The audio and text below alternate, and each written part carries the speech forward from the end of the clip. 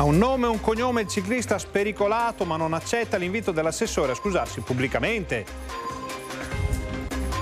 Sala piena, tante informazioni e anche tante domande per la serata sui PIFAS in San Michele. Il sindaco Nicola Fico nomina il capo di gabinetto e Angelo Macchia già in servizio a Vicenza e in provincia. E ancora in ospedale la 36enne caduta da un condominio di Bassano e il giallo sembra avere una soluzione. Da quattro anni il contratto del personale delle case di riposo non viene rinnovato, scatta la protesta. Massime opprimenti, minime mai sotto i 20 gradi da due mesi, estate torrida in Pedemontana. Lupi scatenati in altopiano, altre predazioni e in pianura si sentono gli ululati ogni notte. Ladroni in azione nell'alta, spariscono pure i ricordi nei nonni mentre la famiglia è in sagra. Paura sulla 307 del Santo si scontrano auto e scooter, un figlio ferito finisce in ospedale.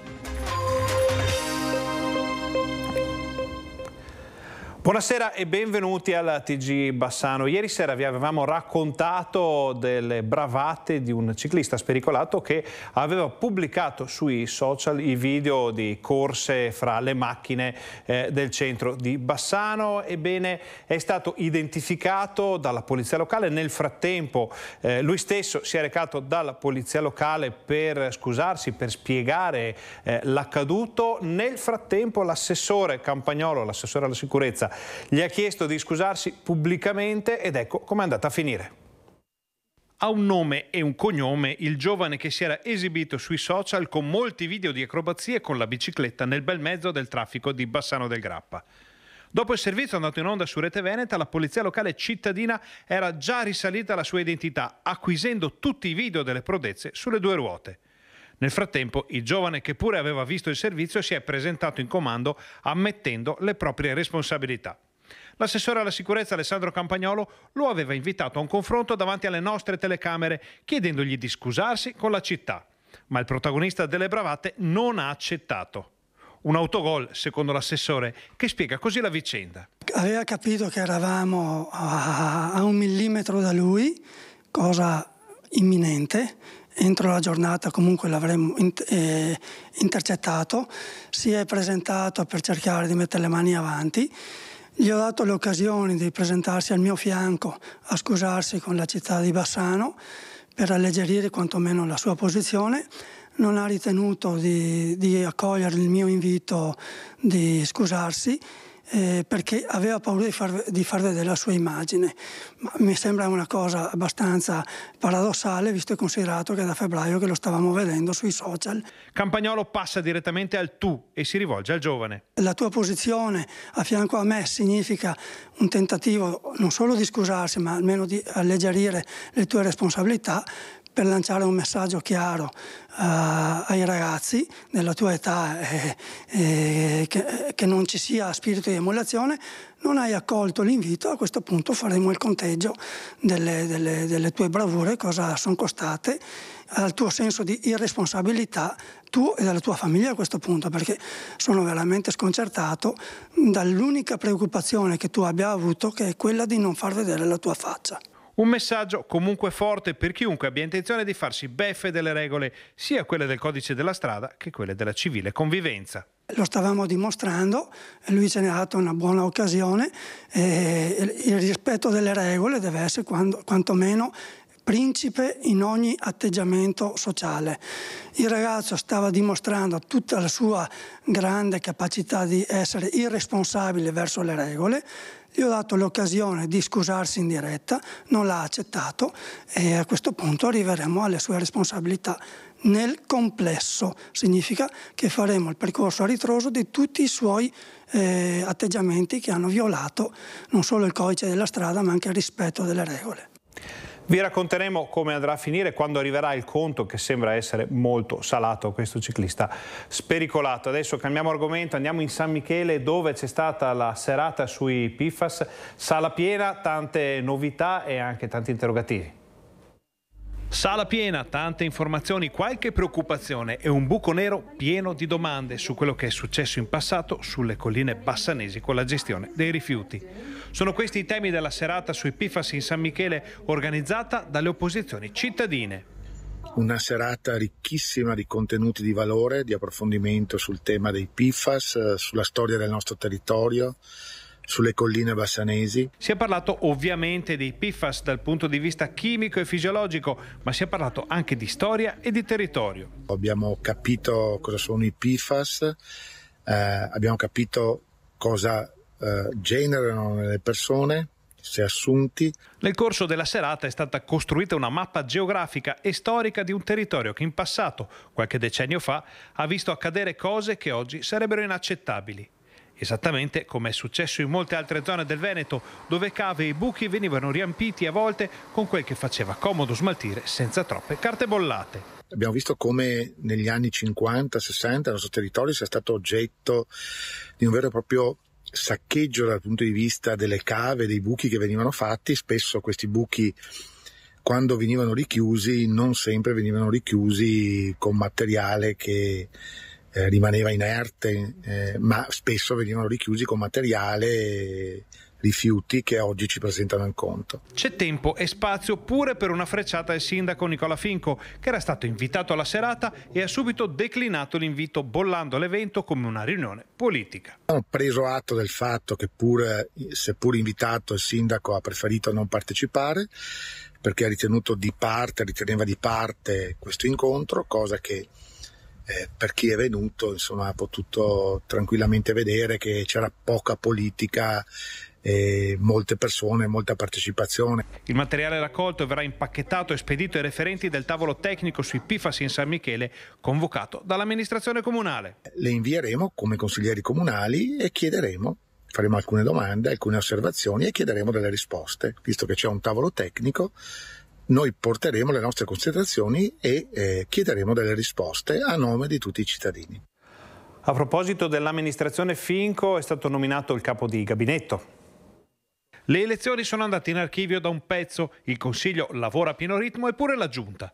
La macchina può partire, ma a fianco del pilota, che in questo caso è il sindaco Nicola Finco, fa comodo avere un navigatore che conosce a menadito come funziona un apparato complesso come quello del municipio dell'ottavo comune del Veneto. In queste settimane ho formato la struttura di gabinetto del sindaco, ho trovato un paio di profili, il profilo apicale è il capo di gabinetto che l'ho individuato nella figura di Angelo Macchia, quindi una persona di lunghissima esperienza amministrativa, più di 30 anni all'interno della pubblica amministrazione, ha seguito per molti anni il comune di Vicenza in qualità di segretario generale, ha seguito per moltissimi anni la provincia di Vicenza sempre in qualità di segretario generale e poi moltissime altre amministrazioni comunali ma anche partecipate della nostra provincia non solo. Dalla A di Asiago alla Z di Zugliano sono tanti i comuni del territorio in cui Macchia ha lavorato.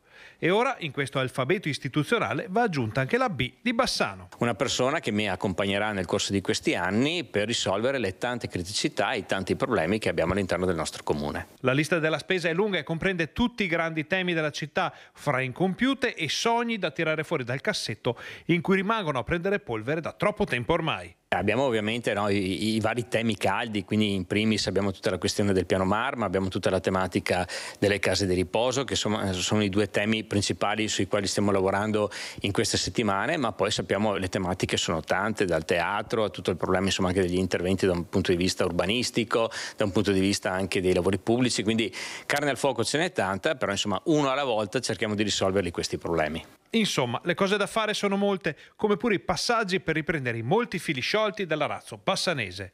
E finché avverte, ci vorrà pure qualche mese per poter mettere in moto la macchina. Il municipio da poco più di due mesi, la giunta è stata nominata i primi di luglio, insomma il, il, tempo di prendere le misure, ovviamente poi la macchina parte. Se poi qualcuno pretende che in due mesi si risolvino tutti i problemi di una comunità, per carità, ognuno ha le sue pretese, ma io sono abituato a fare le cose e ad annunciarle una volta risolte e una volta fatte.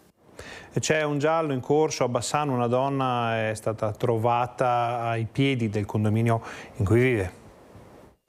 Prima il volo, poi il tonfo, infine le urla. L'alba di lunedì nelle palazzine di via Villaraspa a Bassano ha avuto un risveglio drammatico quando poco prima delle 4.30 è stata udita la caduta dal secondo piano di una donna di 36 anni che era all'interno dell'appartamento del compagno. Sul posto sono arrivati i mezzi di soccorso del SUEM e le pattuglie dei carabinieri che hanno smentito l'ipotesi del coinvolgimento di altre persone nella vicenda. Si propende infatti per un gesto volontario legato probabilmente ad uno stato sentimento di disagio che la donna avrebbe già espresso in passato. Questa è la palazzina civico 37 di via Villa Raspa dove si è verificata la caduta di questa donna nella parte interna del condominio, una struttura che è addossata ad altre strutture abitative presenti nella zona nei pressi della stazione ferroviaria. La 36enne è stata ricoverata all'ospedale San Bassiano con fratture multiple, specie agli arti inferiori. Solo dopo il risveglio dalla sedazione sarà possibile agli inquirenti sentire la sua versione dei fatti e la motivazione del gesto che ha creato grande scompiglio e preoccupazione tra i residenti del complesso residenziale. Il fatto che le finestre di alcuni appartamenti fossero rimaste aperte per il caldo ha consentito l'immediato intervento dei soccorsi e il primo aiuto alla donna ferita. C'è tensione nelle case di riposo, oggi c'è stata una manifestazione di protesta a Tiene, vediamo perché.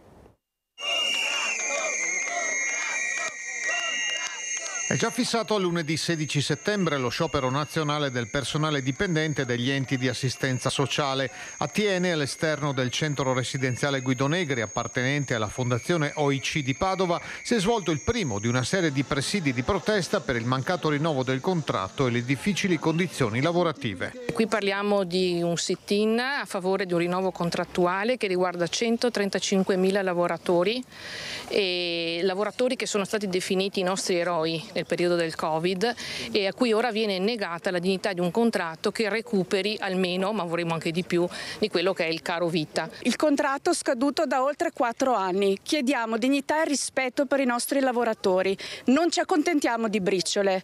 È ora di far rumore, farci sentire e ottenere quello che i lavoratori hanno diritto. Mancano infermieri e operatori sociosanitari. Con una pressione psicofisica, denunciano i sindacati, sempre più forte sul personale in servizio. Carichi di lavoro pesantissimi, non c'è più dignità nell'assistere gli ospiti e non c'è più personale che possa assistere, è tutto sotto cooperative purtroppo. Esternalizzazioni che portano in dote anche a volte poche competenze, non dovute sicuramente alla scarsa preparazione, ma alla poca formazione che alcuni, alcuni settori in questo momento stanno mettendo in campo. Dare servizi migliori agli ospiti, superare le criticità denunciate dai lavoratori. Questi gli obiettivi della mobilitazione. Da noi tutti i dipendenti se ne stanno andando, abbiamo un continuo esodo di lavoratori verso altre strutture e altre realtà perché gli stipendi sono troppo bassi. Siamo qui oggi a rappresentare tutte le strutture strutture eh, delle RSA, delle strutture a livello eh, nazionali, sindacali, regionali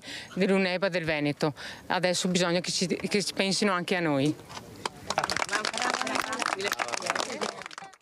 Una mobilitazione che è destinata a espandersi a macchia d'olio in tutta la regione, ovviamente vi daremo conto anche delle prossime prese di posizione di un settore molto importante. Adesso vediamo invece la situazione legata al meteo perché è un'estate davvero torrida.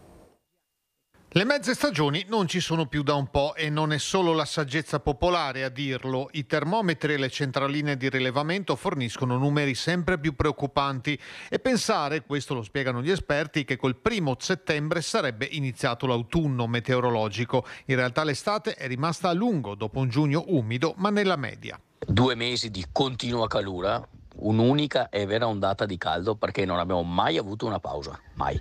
Abbiamo avuto qualche temporale per carità, perché questo è da segnalare, ma non abbiamo mai avuto un vero e proprio ricircolo d'aria. I valori sono saliti molto in alto. Negli ultimi 60 giorni a Rosà l'ARPA aveva registrato una temperatura media di 33,6 gradi con punte quasi di 37. Nessun conforto anche dalle minime 21,5 di media, quasi mai sotto i 20. L'umidità ha sfiorato il 90% in tutto il periodo. Nell'ultimo secolo mai si erano registrati valori così alti. Parliamo di valori oltre la media non di 2-3 gradi, ma oltre la media purtroppo è molto spesso anche intorno ai 4, 6, anche 8 gradi. Medie che ricordiamo sono già alte perché sono state aggiornate dal 1990 al 2020. Preoccupa anche la temperatura della Terra da due mesi stabilmente tra i 28 e i 29 gradi, anche a 30 cm di profondità. Il fresco però non sembra lontano. Finalmente dopo due mesi eh, si tornerà, soprattutto da giovedì, a respirare. Weekend eh, avremo temperature gradevoli tutto sommato e poi dall'inizio della prossima settimana si intravede un, um, un altro peggioramento che potrebbe eh, far calare ancora un po' le temperature. Dal caldo, torrido, a rischio di incendi il passo è davvero molto breve. La Regione Veneto ha allungato la lista dei comuni a rischio incendi. L'ultimo aggiornamento contiene un centinaio di comuni, 50 del Vicentino, una quarantina del Trevigiano, gli altri fra Rovigo e Venezia. Tra Brenta e Grappa la situazione al momento è sotto controllo, anche grazie al lavoro di sorveglianza dei volontari delle sei associazioni che fanno parte del coordinamento antincendi. I rischi però ci sono. Il rischio più grande è appunto quello che eh, qualcuno eh, appicchi il fuoco, chiaramente, perché la maggior parte degli incendi sono dolosi, vol- voluti o non voluti, ma comunque sono dolosi. Sta di fatto che eh, la pericolosità maggiore è quella che magari qualcuno si avvicini al bosco e accenda magari un fuoco suo per bruciare della ramaglia o qualcosa e gli scappi. Ecco, questo è il rischio maggiore. In caso di violazione dell'ordinanza regionale sull'accensione di fuochi all'aperto in zone a rischio, la multa arriva a 2.000 euro. Per l'area pedemontana i pericoli più grandi sono però concentrati negli inverni secchi, specialmente se l'erba e il sottobosco non vengono curati. Abbandonare le terre alte è quindi potenziale causa di incendi. È un elemento scatenante il fatto di non curare la montagna. La montagna va curata assolutamente, va mantenuta sempre non dico pulita, ma comunque mantenere quelle attività che c'erano anche una volta. Per la gestione dell'emergenza incendi esiste una catena di comando ben precisa. Parte tutto dalla regione, dal nostro assessore regionale che ha eh, in mano tutta la, la, situazione ed è sempre in prima linea. Dopodiché eh, passa ai servizi forestali che eh, ci chiamano eh, in caso di necessità. 112 o 115 sono questi i numeri da chiamare in caso di emergenza appena si vede fumo chiamare, è quella la cosa più importante da fare. Dopodiché ci sono gli organi preposti che verificano se è un incendio vero oppure se è, solamente uh, il cammino che, che, che, fa di una casa, diciamo. Ecco. Ancora lupi in azione sia in altopiano che in pianura. Non c'è pace in altopiano e neppure alle pendici delle montagne vicentine, se è per questo. Nei giorni scorsi si sono moltiplicate le predazioni da parte dei lupi ai danni delle malghe dei sette comuni e si moltiplicano pure gli avvistamenti e le segnalazioni nelle contrade di Marostica. In montagna i selvatici hanno ucciso due vacche, una a Cesuna e l'altra a Malgamosche, a due passi dal Turcio in una zona sempre molto frequentata. In precedenza era stato predato anche un capo di una delle maghe della Val Maron, nell'estate più nera per numero di aggressioni agli animali in alpeggio. In collina e in pianura invece sono svariate le segnalazioni di lupi di passaggio, impronte e ululati notturni che inquietano i residenti. E dalla segnalazione dei lupi alle vostre segnalazioni. Ci sono gli scatoloni di cartone ammassati, c'è del pentolame non più utile sui fornelli, c'è perfino una siringa con tanto di ago scoperto. È il campionario dei rifiuti che un telespettatore ci ha segnalato in località San Nazario di Valbrenta, appena all'inizio di salita Valduga. L'isola ecologica con le sue palizzate si trova a ridosso della strada statale 47 e viene usata a quanto pare come una piccola discarica in cui c'è ben poco di regolare. Anzi, forse proprio il fatto di poter nascondere alla vista ciò che viene depositato diventa in qualche modo una maschera per chi decide di usare questo luogo esattamente al contrario di ciò che dovrebbe essere un'isola ecologica che di ecologico non ha ormai più nulla. E anche voi potete segnalare quello che non va, quindi pattume, degrado, abbandono di rifiuti a Whatsapp con un video una foto possibilmente orizzontale al 340 321 8379 o via mail a redazione chiocciola reteveneta.it. Cambiamo argomento, andiamo a vedere le ultime prove prima della partita a scacchi di Marostica. Storia e tradizione, anzi di più, perché è una questione di appartenenza, di identità, di cuore. Marostica si prepara all'appuntamento più atteso sulla scacchiera della piazza, lì dove ha cittadinanza l'anima marosticense. E lo si capisce dalle prove che ogni sera vedono quasi 700 figuranti della Promarostica impegnati a far rivivere la contesa d'amore di Vieri da Vallonara, Rinaldo d'Angarano e della bella Leonora. Le frecce infuocate che incendieranno i bordi della scacchiera sono pronte per essere scoccate per quella che si annuncia come la partita a scacchi con personaggi viventi più suggestiva di sempre. È un mondo che sta cambiando, quindi anche la partita, senza tradire la sua origine, la sua identità, si modifica e in qualche modo si relaziona con il mondo. Quindi sarà la partita più bella di sempre perché adotteremo comunque variazioni, cambiamenti, tecnologie che daranno allo spettatore il gusto di seguire uno show vero e proprio. Uno spettacolo che, come detto, da quest'anno presenta importanti novità, a cominciare dal contributo di Massimiliano Volpini, già coreografo di Roberto Bolle, e dalla collaborazione con l'Accademia del Teatro alla Scala di Milano. La cosa che, che è straordinaria di, di questo evento è il fatto che tutti loro la sentono come una cosa che gli appartiene davvero. Loro appartengono alla partita e la, part- la partita appartiene a- alla popolazione di Marostica. Le emozioni sono tante e si fanno sentire sempre di più nell'avvicinarsi, devo dire entusiasmo, curiosità perché per me è la prima volta. Il resto è storia, leggenda, mito o semplicemente è lo spettacolo della partita a scacchi di Marostica. Ed è tutto pronto sul Monte Grappa per una importante cerimonia.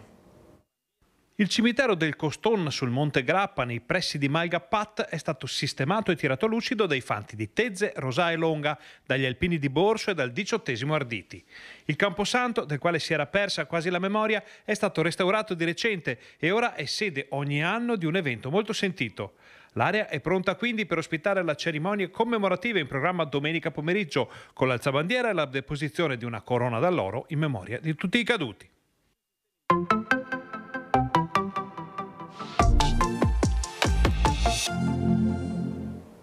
Ennesimo incidente stradale nell'Alta Padovana sulla 307 del Santo dove un'auto e uno scooter si sono eh, scontrati. Alcuni testimoni hanno riferito, che il motociclo condotto da un uomo avrebbe superato davanti a sé due veicoli più un camion andando poi a impattare, impattare sulla vettura che era condotta da una donna. Quest'ultima ha riportato solo un graffio mentre il motociclista è stato trasportato con l'elisoccorso all'ospedale di Padova. E ci sono anche dei predoni scatenati nell'Alta Padovana. I padroni di casa sono alla sagra e i ladri approfittano per fare razzia nella loro abitazione. È successo a San Martino di Lupari nell'Alta Padovana sabato scorso. I predoni hanno approfittato dell'assenza di proprietari di casa per intrufolarsi nell'abitazione. Dopo il loro passaggio, il solito scenario, cassetti svuotati e stanze a soqquadro. Il bottino è risultato essere di qualche moneta e un paio di AirPods, i popolari auricolari per il telefono. Un bottino economicamente magro, ma che per i derubati, come accade spesso in questi casi, è carico di valore affettivo. Le cuffiette, infatti, erano state regalate poco più di un mese fa alla figlia dei proprietari di casa dai nonni per il conseguimento della maturità un prezioso ricordo rubato da predoni senza scrupoli. Dopo di noi alle 21.15 il direttore Luigi Bacciali avrà come ospiti in una serata decisamente interessante di Focus Paolo Bonafè, Giacomo Cervo, Ermanno Giudici, Roberto Marcato, Giuseppe Montuori, Leonardo Padrin e Giuseppe Pan. Questa era l'ultima notizia del nostro telegiornale, vi ringraziamo per essere stati con noi, vi auguriamo una buona serata e come sempre vi lasciamo al meteo.